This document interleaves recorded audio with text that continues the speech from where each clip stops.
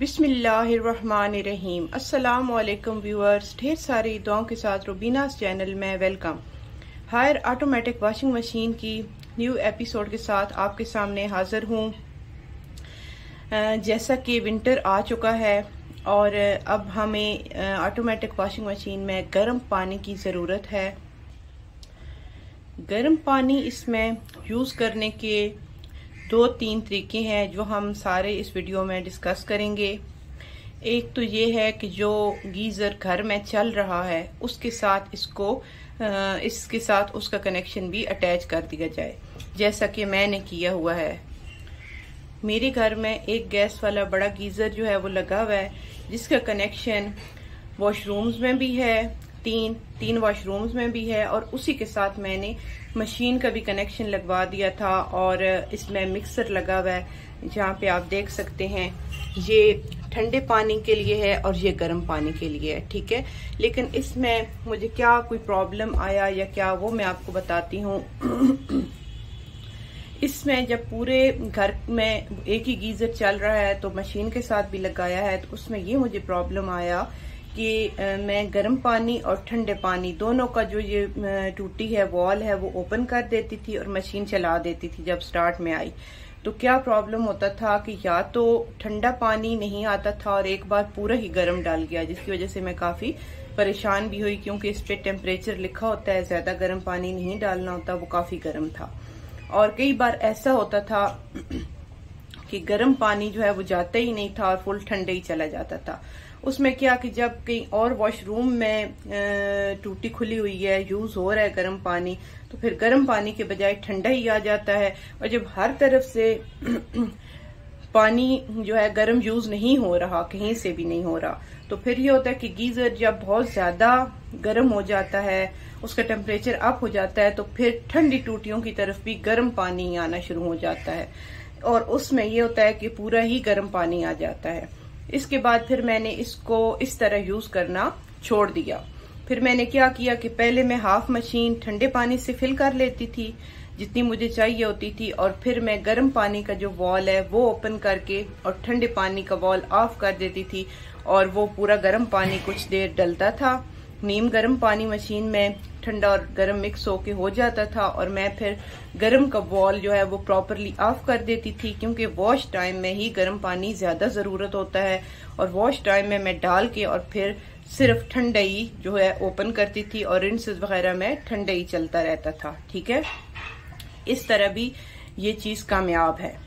और इसका दूसरा तरीका ये है कि आप कई मेरी फ्रेंड्स ने किया हुआ है कि घर के मशीन के साथ अलग गीजर अटैच किया हुआ चाहे बिजली वाला हो, चाहे गैस वाला इंस्टेंट हो, या जो भी आप एक अटैच कर लें।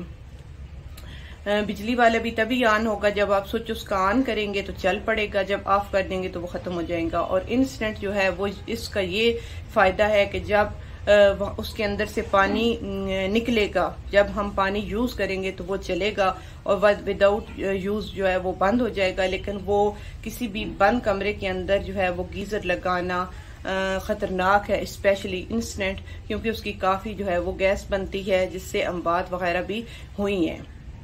तो इसलिए बंद कमरे या बंद वॉशरूम के अंदर आपने इंस्टेंट गीजर यूज़ करने से परहेज करें और खुली जगह पे लगाएँ, जहाँ पे वेंटिलेशन अच्छी खासी हो। दो चीज़ें, और जो ये सिर्फ़ मशीन के लिए गीजर लगता है ना, वो काफ़ी हद तक कामयाब है। उसमें फिर आप मिक्सर भी यूज़ करेंगे तो फिर दोनों तरह का पानी ठंडा गर्म मिक्स होके आएगा, क्योंकि उस गीजर में से सिर्फ़ और सिर्फ़ मशीन में ही पानी आता है। ठीक है? और तीसरा तरीका ये है जो मैनुअल है। मैनुअल आप इसमें पानी डालें। अब मैं यहाँ पे बताने वाली हूँ कि मैनुअल आपने पानी किस तरह डालना है। अभी आप देखिए मैंने मशीन में जो है वो कपड़े डाले हुए टॉवल और मैं मशीन को ऑन करने वाली हूँ। क्योंकि मैं, मेरे पास जो गीजर है, उसमें पानी काफ़ी गर्म है, काफ़ी बॉयल हुआ हुआ है, ठीक है? तो वो पानी मैं सब पहले नहीं डालूँगी। अगर नीम गर्म पानी है, फिर तो आप डाल दें। लेकिन अगर ज़्यादा गर्म गीजर वाला पानी है, जो काफ़ी गर्म है तो वो आपने मशीन में डायरेक्ट नहीं डालना। उसमें क्या करना है? पहले आपने ठंडा जो पानी है, वो लेना है, ठीक है? उसके लिए आप ओनली वॉश टाइम लगा के और मशीन को स्टार्ट कर दें। मशीन जो है वो पानी पे सेट हो जाएगी अभी और ठंडा पानी इसमें फिल होगा। वो आपने फाइव मिनट्स तक फिल कर लेना है। देखें यहाँ पे लो आया है तो मैंने थोड़ा फिल करना है आधा। आधा फिल हो जाएगा, फिर मैं एक बकेट या आधी बकेट जो है वो पानी की गर्म की डाल दूँगी, ठीक है? और इस तरह नीम गर्म पानी हो जाएगा।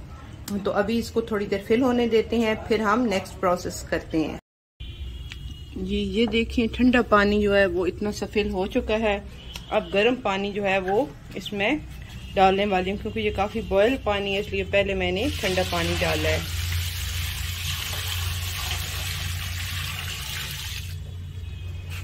अब ये मिक्स होके जो है वो नॉर्मल टेम्परेचर पे आ गया है।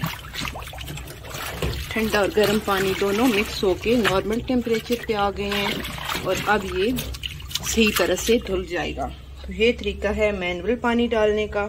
अगर शदीद गर्म पानी है, पहले ठंडा पानी आधा फिल करें, फिर गर्म पानी डालें। अगर नॉर्मल टेम्परेचर का आपका पानी है, नीम गर्म है तो फिर आप बेशक वही डाल दें।